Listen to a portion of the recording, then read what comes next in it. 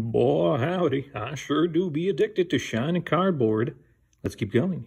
We'll be pulling from Ghosts from the Past. You don't know how this got here. What are you doing? Go back to the start, silly. No, no fair skipping around. We got another Dark Magician front.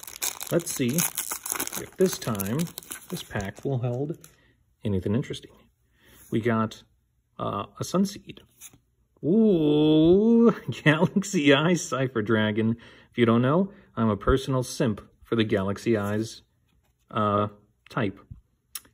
We got this person, can't even begin to say it. Ooh, the Artifact. I never played them, but I know they're annoying. And we got Sunvine Thrasher. Well, I'm incredibly happy with getting a Galaxy Eyes card. I remember getting the tin way back when, and I was like, step aside, Blue Eyes. Galaxy Eyes is where it's at. Man, with all these card openings, I do be going broke, but